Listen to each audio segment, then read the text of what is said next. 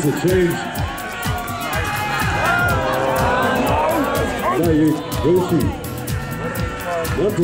gets a piece of it. Shallow outfield.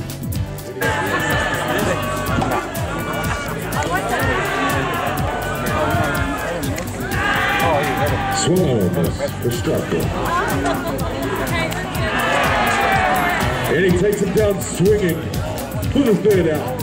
That will retire the side. We're down with two completed innings. や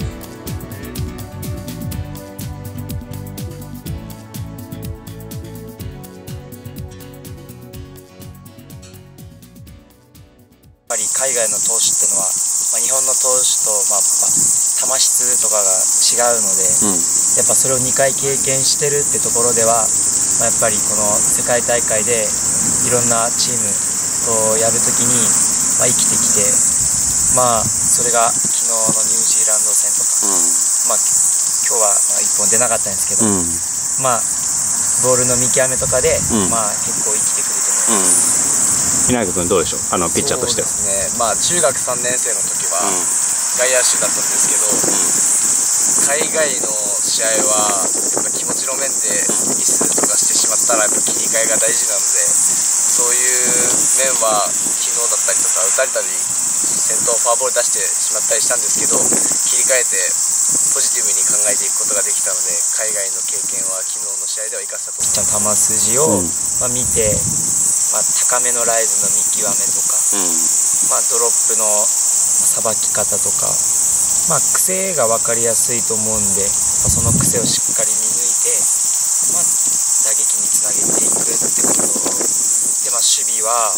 まあ、海外の選手はま比較的日本人よりは足が速くはない方なので、まあ、後ろ手に守ってしっかり取ってファーストに落ち着いて投げればミスしてしまったりするんでミスしたら切り替えてとかやっぱり流れに乗ったりとか悪い流れだったらそれを切り替えることも大切なんでそういうところは大事だと思います。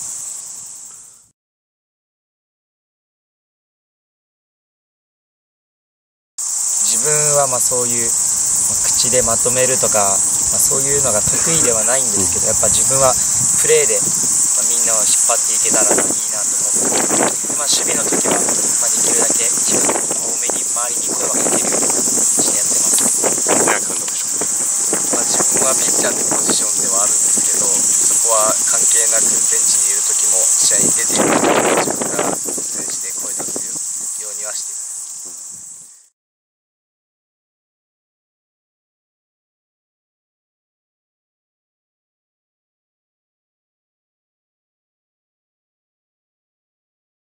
自分は、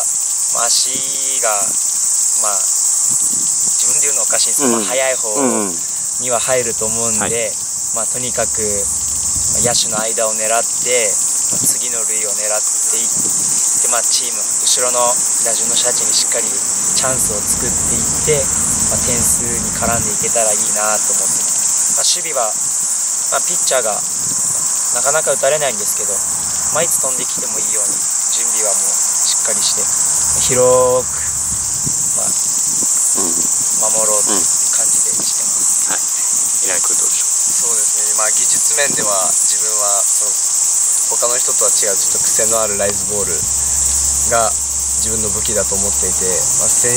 神面では基本ポジティブシンキングで、えー何事もポジティブに考えて前に進んでいこうっていうのが自分の調子のう昨日ニュージーランド打線結構高めのライズをうまいこと打ってくれて平田君としたらこう振らせてましたけどもうまくそこら辺手応えありましたか？そうですね、手応えはあるんですけど、ボール球投げてしま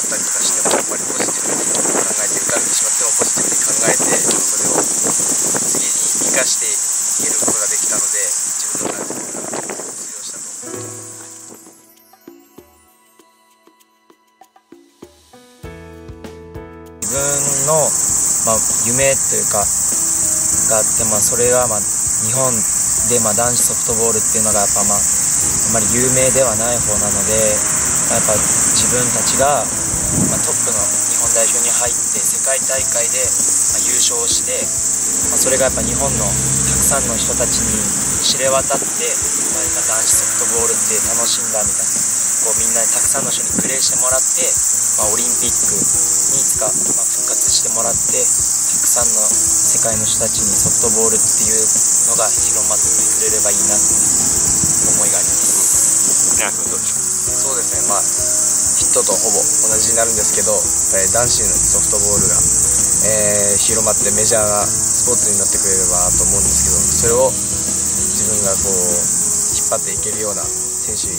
なればと思います前回大会が、ま準優勝っていうことだったので、まあ、今回は、まあ、世界ランクも日本が1位になったこともありますしやっぱりこの日本っていう名前を世界の人たちに、ましっかりと見せられるように、まあ、あと残り長い戦いにはなりますけどチーム一丸となってたくさん声を出して頑張っていきたいと思います。はい、稲君お願いします。はい、まあ目標は、